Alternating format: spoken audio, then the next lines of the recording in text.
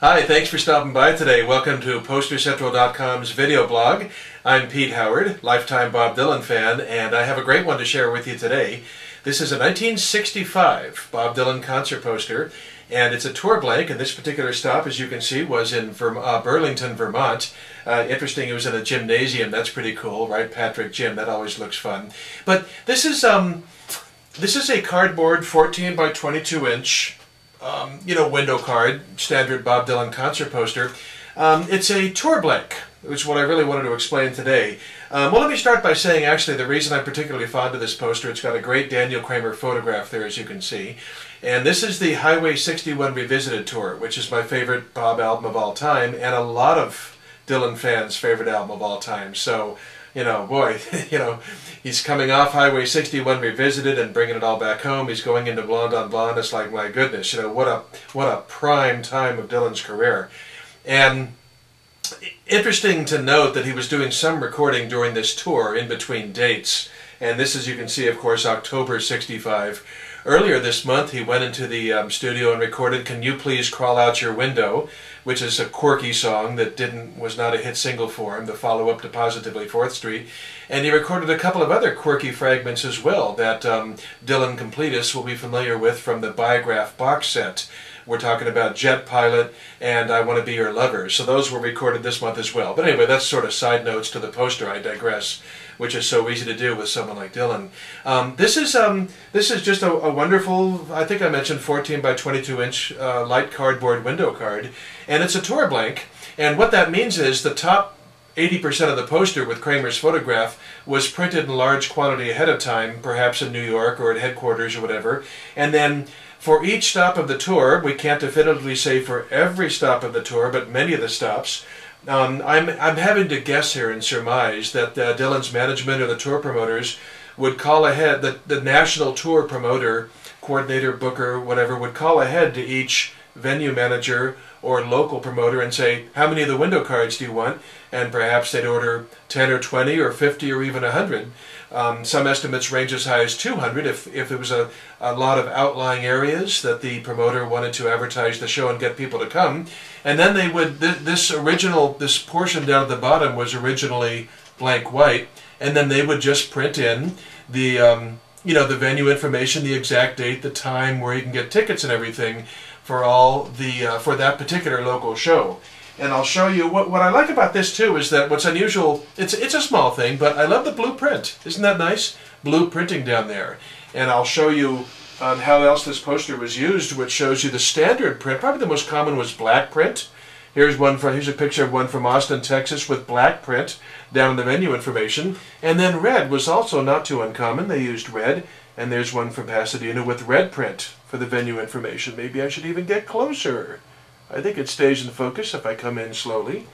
And there again is the black print for the, um, the Austin, Texas show.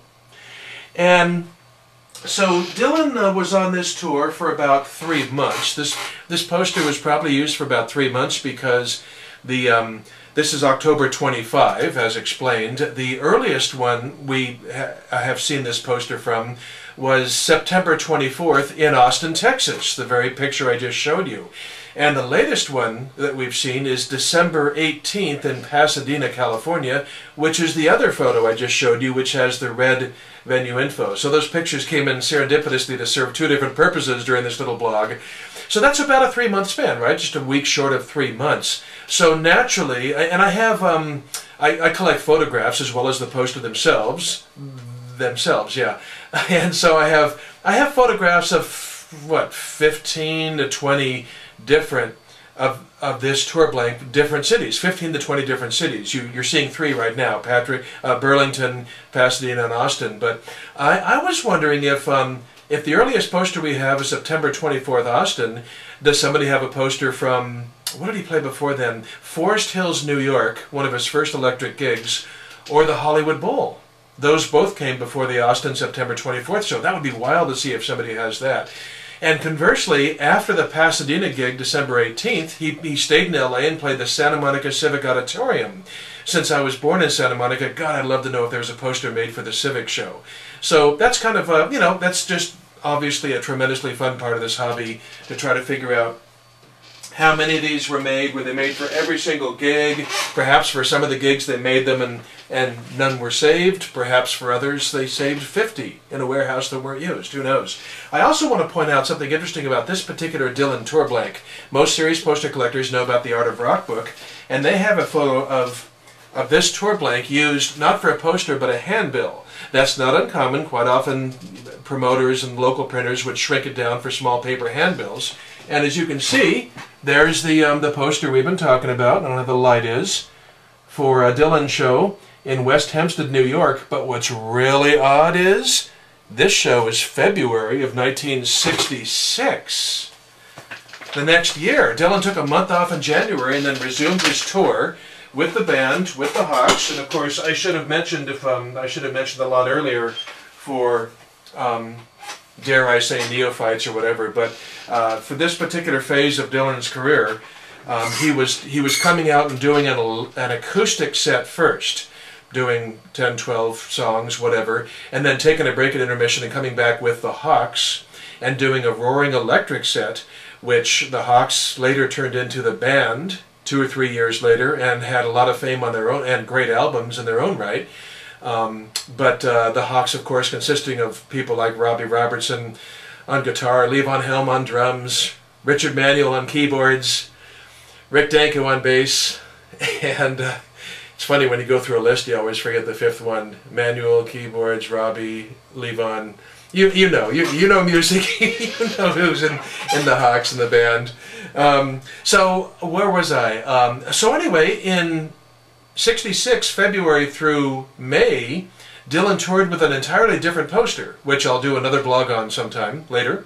Um, but why would they save this tour blank and, and use it in February of 66 for a handbill? That might be the only one. I'd be really curious if anybody's seen this this particular incarnation used in any other form in 1966. And of course, who knows why decisions were made then, it just makes it all kind of, kind of part of the fun.